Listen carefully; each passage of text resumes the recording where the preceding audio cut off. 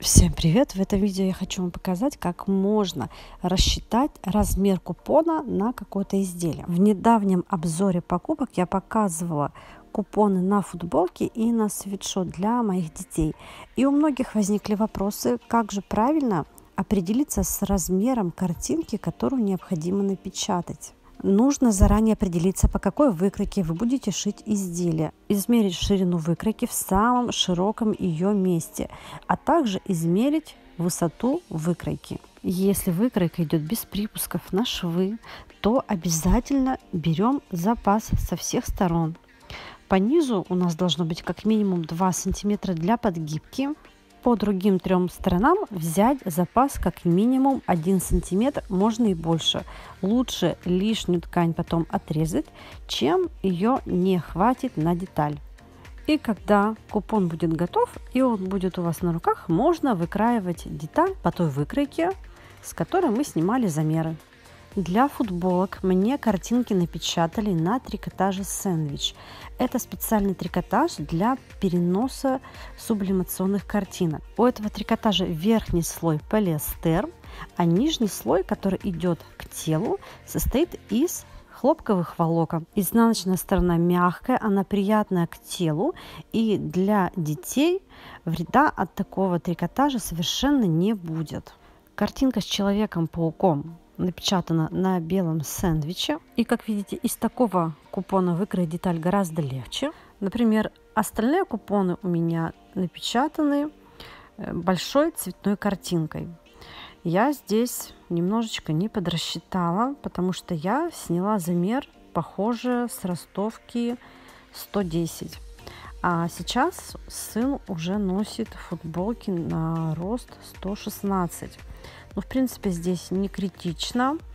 Белые полосочки, которые в уголках плечевых швов сверху и по низу, они уйдут все в припуски на швы. Поэтому не зря я взяла запас по низу и по бокам побольше. Как видите, в принципе, выкройка ростовки 116 в купоны эти уложилась.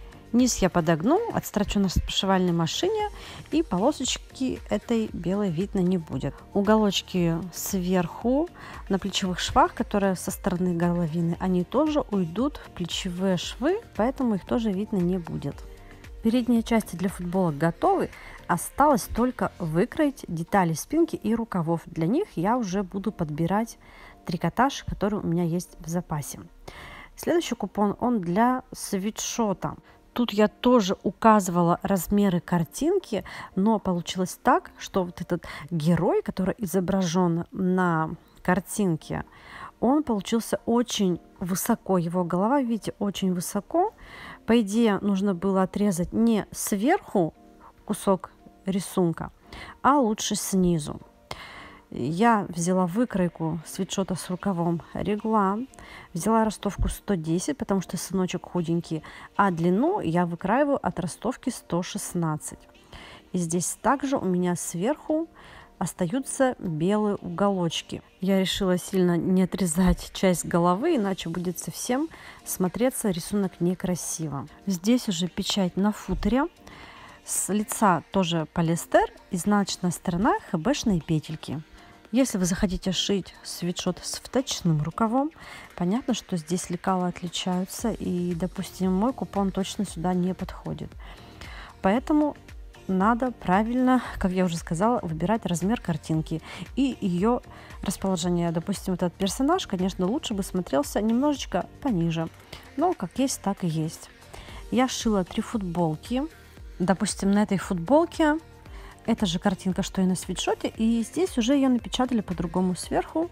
Сильно не отрезали. И футболка с вточным рукавом получилась просто замечательно. Для компаньона я выбрала кулирку с лайкрой.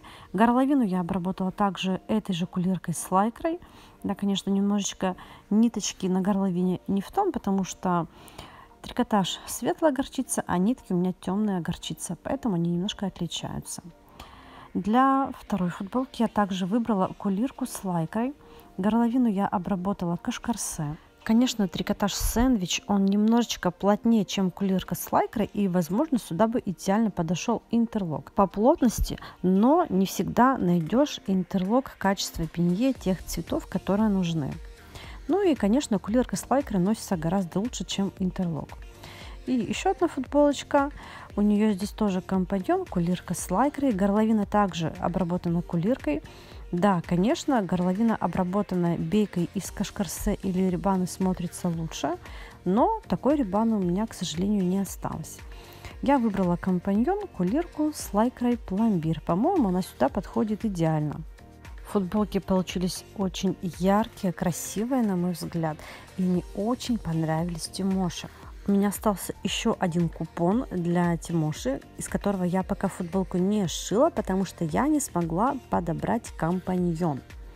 Мне казалось, что где-то у меня в запасе есть темно-синяя кулирка, но пока я найти не смогла. Но если я все-таки темно-синюю кулирку не найду, то я возьму в компаньон красную кулирку с лайкрой. Думаю, с ней тоже будет смотреться неплохо.